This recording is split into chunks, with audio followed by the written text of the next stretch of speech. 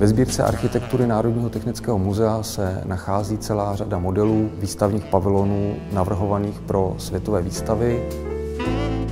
Československá republika po svém vzniku hojně využívala mezinárodní výstavy pro prezentaci mladého státu. Nejinak tomu bylo v roce 1937, kdy pavilon pro Československo realizoval Jaromír Krejcar společně s dalšími spoluautory. Jejich řešení bylo vybráno právě proto, že splňovalo zadání poroty, použití moderních technologií a konstrukcí, jako v případě tohoto pavilonu se svojí nitovanou ocelovou konstrukcí a použitím velkoformátového skla na fasády.